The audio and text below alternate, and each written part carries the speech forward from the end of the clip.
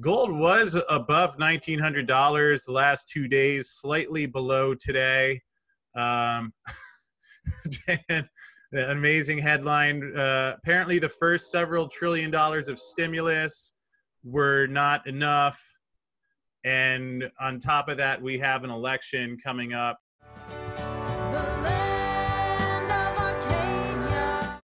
Hello there, my friends. Chris Marcus here with you for Arcadia Economics. And I'm excited to dig back into the gold and silver markets as we have a habit of doing here on Arcadia Silver Talk Radio, Golden Silver Talk Radio.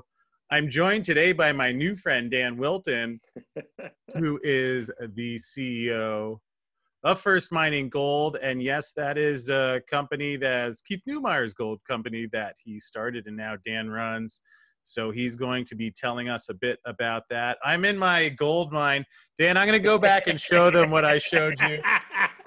First of all, Dan, Dan, how are you doing today? I'm doing well, Chris. Thanks so much. And for those of you who want to see, this is Chris at the mine face he's uh, he's fading into gold in the background. We just I said to him he just needs to get a proper pickaxe and then show us a big you know high grade gold sample and uh, he'll be able to declare victory on all of this. Look so. look at what I found, Dan. Um, although I know Dan's not impressed because he runs a gold company, so he's already miles ahead of me.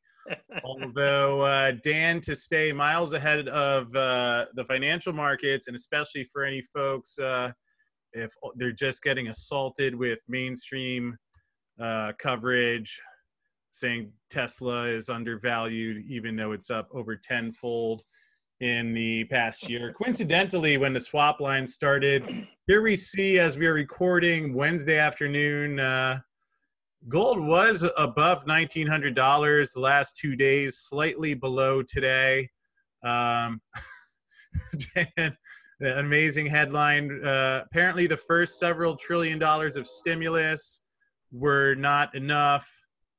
And on top of that, we have an election coming up. So what what do, you, what do you say to that? What do you say to that? Well, uh, you know, we were talking a bit before, Chris. I, I have the the luxury of being a bit of an impartial observer, being a Canadian and based up in Canada. But we uh, we watch the blood sport of U.S. politics uh, very closely.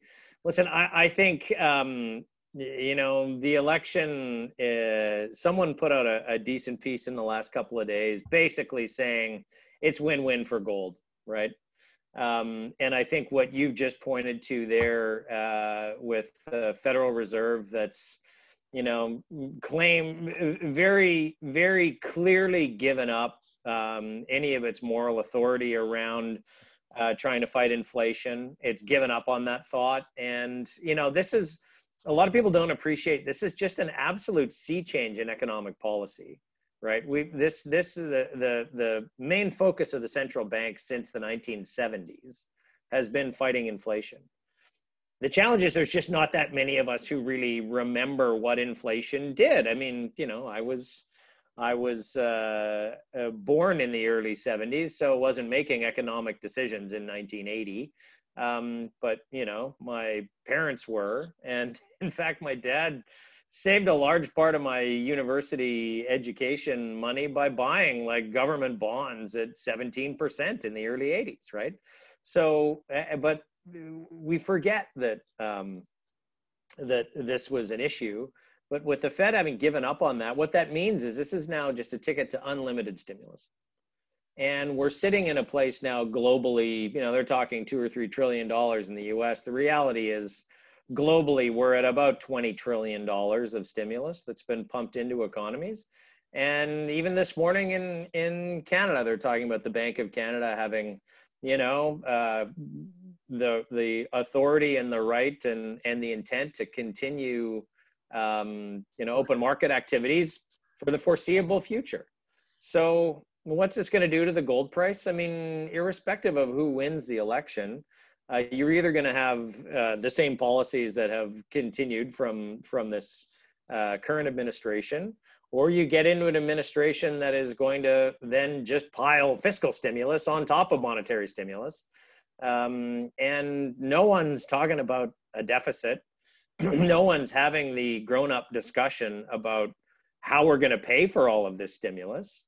The answer is the stimulus gets paid for by the erosion of accumulated wealth in the economy. It's the only way that it happens, right? So yeah, and that uh, sure seems like it's going to happen. Uh, in fact, Dan, maybe you could help me calculate. I was watching one of your interviews with our friend Kai Hoffmann earlier today. You come, you strike me as an incredibly intelligent person. So, can maybe you can calculate this for me? But what are the chances that Ben Bernanke I like calling them all all of them Ben Bernanke. Yeah, yeah, yeah. The Ben Bernanke I just like, yeah. you know montage them into one. They all do the same thing. um, what would you say is the probability that uh, Powell or whoever is the next guy pulls a Paul Volcker and raises interest rates to 18 or 20 percent? Um, well, first of all, how can they? They're not going to do that until inflation is rampant, right? And just think about um, uh, you're you're better placed in the U.S. than a lot of other economies in that most people's housing debt is is uh, 30 year fixed terms, right? No. So in, in a lot of the world, people sit with floating floating interest rates on their mortgage. So you know you raise rates and all of a sudden people go bankrupt. You're sitting in a position where not just the consumer, but the uh, you know the U.S. corporate uh, is incredibly indebted. You look at the at the debt to GDP and how it's going. That limits your ability to raise rates in the end, uh, or raising rates has a bigger disproportionate income because a lot of people are spending a meaningful portion of their of their own personal income servicing debt. So you're vulnerable to that rise in interest rates, and it has this disproportionate effect of, you know, you really throttle back expenditure but you know for a lot of people that could be multiples of what they're spending now so because when you borrow money at 1% you can afford 1% interest rates right? Or 2 or 3% but if that goes to 10 like the cost of that debt becomes overwhelming for most people. And i think that's the same in virtually every industrialized economy around the world right now. There's just they they they claim to have this policy you know uh, capability, but they just their their hands are tied to use it, and they're never going to be able to use it until inflation is really rampant. But here's the secret: that's kind of what they want, right? Because that inflation rampant, if you keep rates low, you're not going to suffer um, the psychological erosion of wealth effect, right? Because stock markets, as has been demonstrated through this pandemic, stock markets, when money is free or people are paying you to take money, equity prices will continue to, you know, will continue to perform and hold their value. Um, real assets, largely things dictated by interest rates like real estate, by and large continue to hold their value. Um, and if you can keep keep the economy kind of going with some degree of inflation, then you know everyone's paychecks will increase every year. Probably not at the pace of uh, not at the pace of inflation, but it'll still be going up. And so you won't feel as poor. But in the end, that slow and insidious grind gets to the like the the pension and savings assets of of society and that's where you really kind of get to the tricky point is how are pension fund managers going to protect themselves um, how are they going to you know make sure that they're if you're buying us government bonds today you're paying a negative real interest rate like you're paying someone to hold your money. So what's a little, bit, the, a little bit of a problem for them fixed income investors, isn't it? Well, it's the reality, right? And right now they feel good because in the last, you know, in the last nine months, that interest, you know, the the bond that had a two percent yield that's now trading at a one percent yield, you know, it's maybe doesn't double the value, but pretty close. So they've seen capital gain offset on the erosion of that of that ongoing investment yield. Um, but that's that's a real challenge for um, people who are relying on that fixed income going forward. So that's you know that's where ultimately when we have the grown up conversation about how we're going to pay for all this stimulus, it's kind of the only thing that can happen because I'm sure you could imagine what happens in the United States of America when some government proposes an 18% value added tax on on purchases, right? Like, you know, the Boston Tea Party was ugly. Um, you know, this, the U.S. is a country that really doesn't like taxation. We're amazingly we're exponents of what they were revolting over of the Boston. I think it was like a couple basis points compared to where we're at now. Although Dan, I guess taking what you just said a step further it's like even in this election, I did not watch the debate. I, I felt there's better uses of one's time. Yeah, unless Dan, was. unless you throw your hat in the ring for president, I would vote Dan Wilton over. No, and I can't. Biden. Unfortunately, you know, foreign born, uh, I'd be disqualified. But I mean, I'm sitting there listening to you talk. I'm like, wow, what, what would, and maybe I was joking when I started to say this out loud, but I mean, it's like, what wonder what the world would be like if people like you were implementing policies like these that lead businesses to be successful rather than politicians that usually I'll leave names out of it, but don't I don't think they're we'll we'll leave that aside. But it's like in yeah. the end, you know, you mentioned the adult conversation, yet if we're this late in the game, there's no talks about cuts, there's no talks about uh, you detailed quite eloquently how why the Fed will never raise rates because they can't. Yeah. So and and you can't cut enough, right? You can't cut enough out of a government budget to find, you know, another three trillion dollars. And it's it's interesting, you know what what what really caused the gold price to run in 20, 2009 to 2011 was just to put it in context, right? Global financial crisis, which in hindsight looks like kind of a speed bump relative to, relative to this pandemic. Honestly, that was you know it, it, ran because the the imagine you can imagine this, Chris, the United States government was going to run a one trillion dollar deficit in 2010, a trillion dollar deficit. Uh, well, you know the dirty secret is they were running a trillion dollar deficit before COVID, and no one talks about debt ceilings anymore. Like it's that's kind of ordinary course. So now you've just poured, you know, five times that of fuel on the fire. And you're going to be doing that every year for the next few to try and stabilize the economy. Um, yeah, it's there's there's no reason in my mind why gold can't be multiples higher than it is right now when you factor in ultimately um, not just that people are going to try and protect their their wealth, right? And that's having an independent uh, real asset, call it a real asset, um, in a way that real estate is not quite as real an asset. It's dependent on different things, but basically a, uh, an unmanipulatable currency. Uh, people will argue that gold's manipulated, but you know what I mean? Like something that is not a fiat currency that will have an ability to um, survive and thrive from the race to the bottom that every other government is engaged in in this rampant monetary expansion right um, and when the pension when when the world of pension funds wakes up to realize you know maybe this is something that we should own some physical gold or maybe we should own some some more gold equities like they're they're very underexposed um, as that drive for portfolio protection comes in. Um, the reality is we're a pretty small sector, right? It doesn't take a whole lot of capital come in to move things um, in really meaningful ways. And so that then says to investors looking here, if you're thinking about gold for the first time, as a lot of people are, you know, what's my balance and tolerance of risk of holding physical metal versus holding, you know, large cap gold equity producers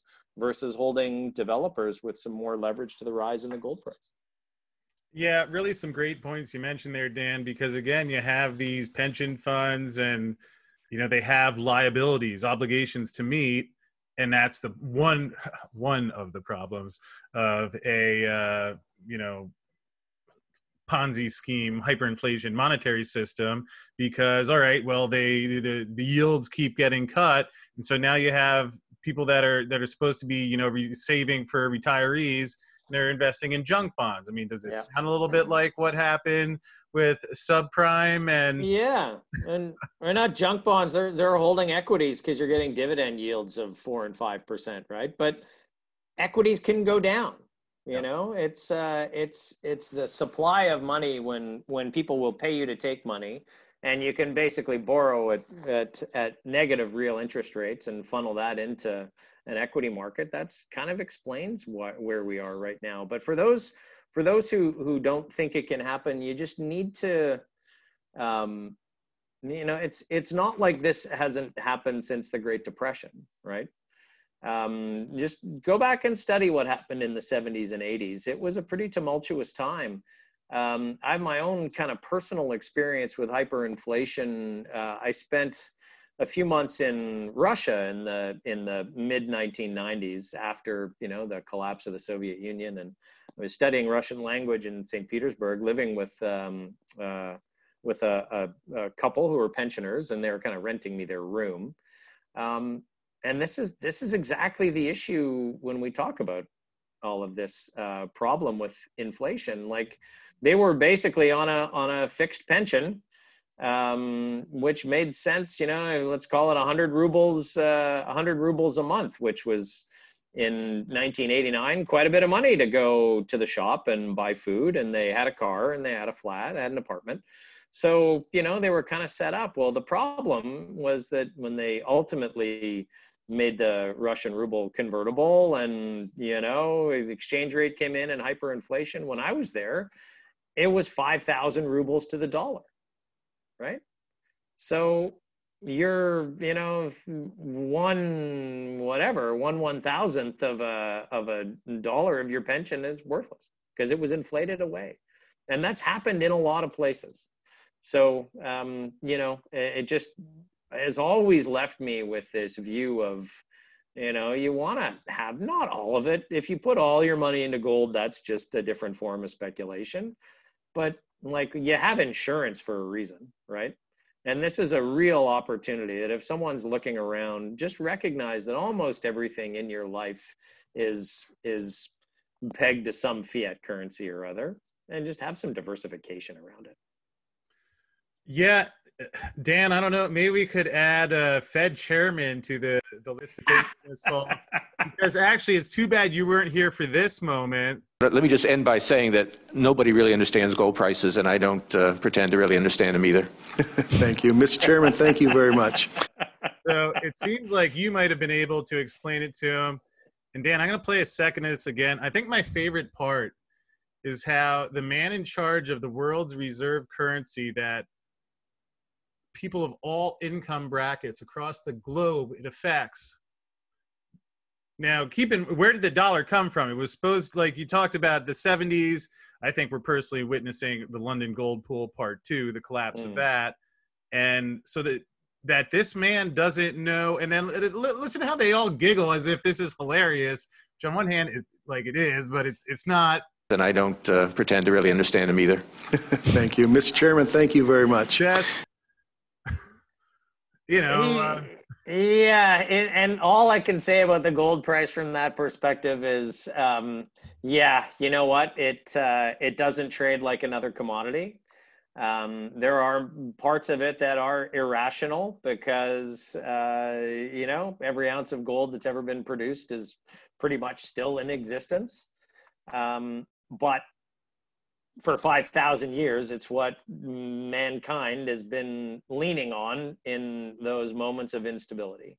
And, uh, you know, we were doing a calculation the other day. I was just, you know, musing with some friends of mine um, and actually uh, tried to do the calculation of if you had a backpack that could carry, uh, you know, an X amount of weight, 40 kilograms, let's say, how much if you had stacks of hundred dollar bills versus gold you know who would be able to carry it like you know a million dollars worth? And uh, it turns out you know for all that it's got all these kind of qualities a little bit of gold still worth a lot of money in the event that you ever needed to you know hit the road in a hurry. So can't travel yeah. too quickly with 40 kilograms of gold bricks on your back but still you know it's uh it's more portable than the equivalent stacks of hundred dollar bills so yeah or you could just get some leverage pick up some good mining shares too and we'll get to that in a second although there you go i got one final one So we looked up, let's call the gold price 1885 divided by the, I know there were two, it was like a two tiered system, but we'll use a $42 price from when Nixon. but we, hopefully we can talk again. We'll dig into the Nixon announcement. I have so many thoughts on that. But 1885 divided by 42, I get 44.88.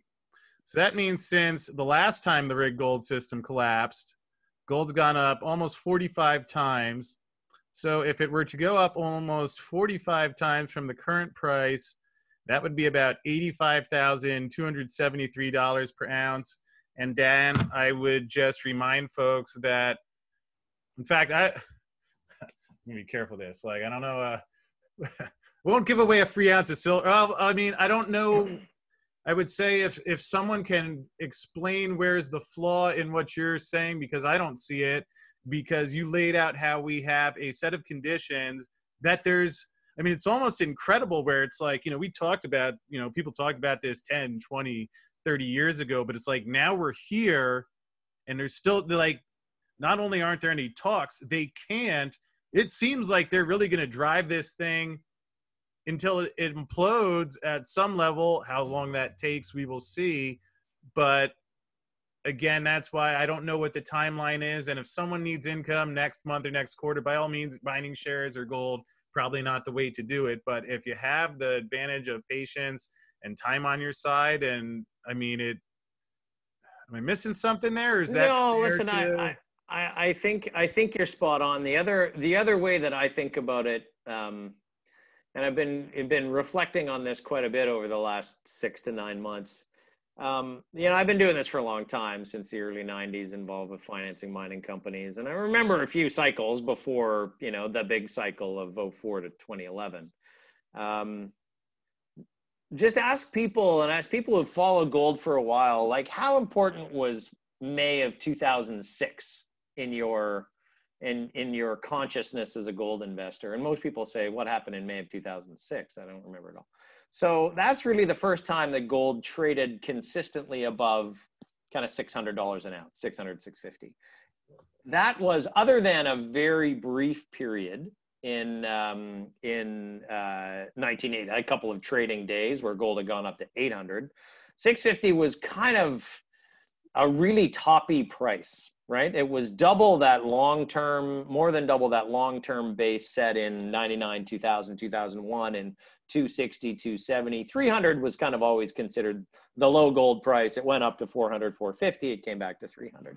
So, in that context of the cycle, um, you know, gold hit 600 and people said, oh, this is feeling really toppy. I remember being in the Denver Gold Show in 2006 and people said, oh, well, you know, we're in a great gold market. Gold's 600 bucks uh, and it's going north, and it did. But you look in in hindsight, no one remembers that, right? You, and so I think you look now, gold at two thousand dollars is kind of double that low that it hit in 2015, 2016, 1050, 1100. It's kind of up double. People are saying, "Oh, this feels really toppy. It's having trouble, you know, testing the the all time highs." Gold today is sitting at or around, you know, previous all time highs prior to this run. Um, and I think we're going to look back here, and this is just basically going to show, um, you know, there's there's no reason. Gold from 600 to 2011 tripled, right? In that five years, gold went from 600 to 1800, 1900. There's no reason why we couldn't see $6,000 gold very easily as a tripling of, you know, it's kind of 6x trough to peak. And I've seen a few of those. What's the trough to peak gold price run in any part of the cycle?